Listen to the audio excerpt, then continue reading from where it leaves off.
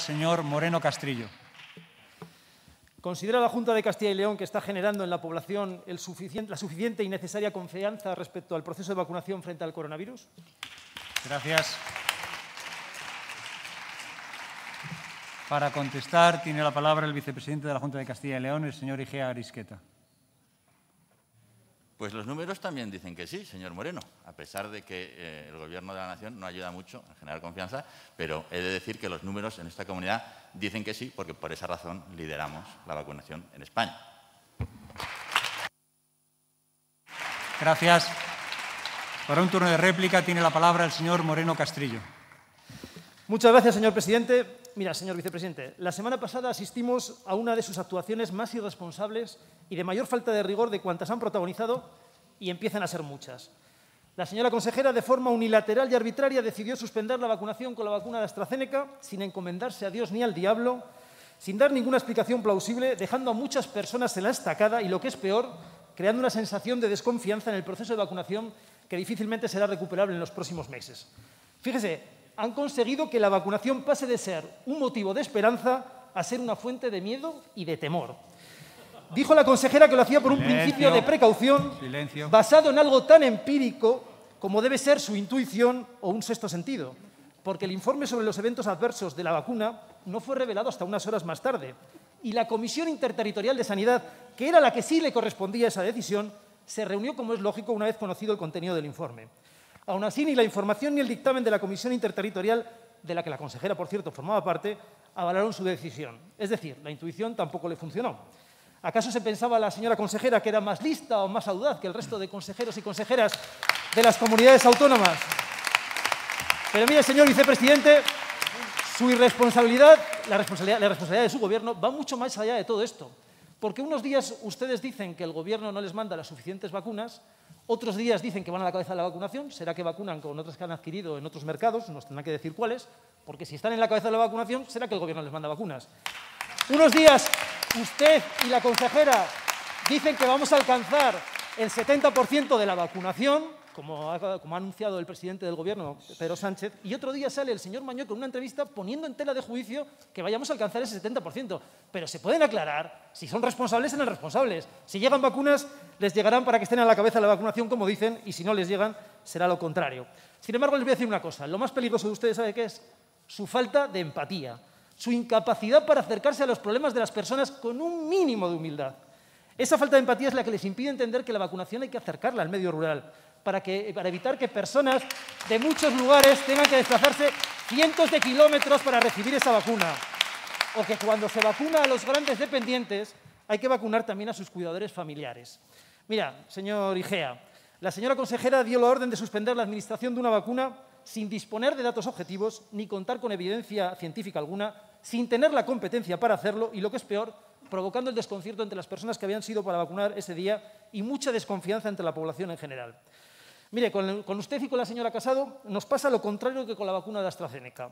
Los riesgos de que sigan ejerciendo como consejeros son ampliamente mayores que los beneficios. Por lo tanto, permítanos un consejo. Vuelvan a su consulta. Sus pacientes se lo van a agradecer y esta comunidad volverá a respirar. Muchas gracias. Gracias. Gracias. Para un turno de dúplica tiene la palabra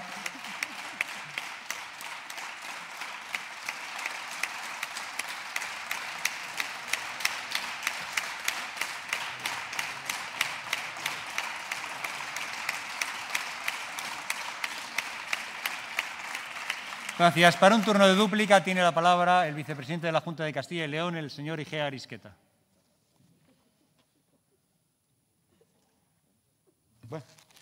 Bueno, he de decir que yo, sinceramente, no, no puedo competir en empatía con usted. No, no, es mi. Pero.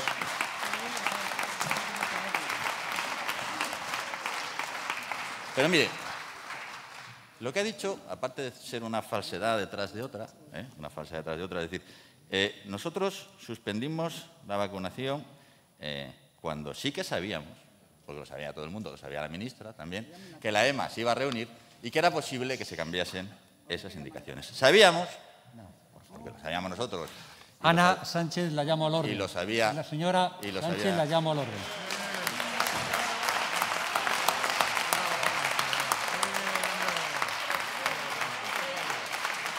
Señora Sánchez, la vuelvo a llamar al orden por segunda vez. Si tengo que volver a llamarla al orden, tendrá que abandonar la sala. Silencio en la sala. Silencio en la sala. Silencio en la sala. Continúe, señor Igea. Yo rogaría un poco de control del tiempo. Eh, lo que sí que sabíamos es que era posible, era posible, muy probable, que se pusiese un límite de edad distinto al que teníamos para usar esta vacuna. ¿Qué hubiera ocurrido eh, si mil, dos mil personas se hubieran vacunado eh, por debajo de los 60 años ese día y luego tuviéramos el problema que tenemos ahora con todos ellos de si les ponemos o no les ponemos la segunda dosis? Aún más, le voy a decir, yo, un poquito de educación no les vendría mal.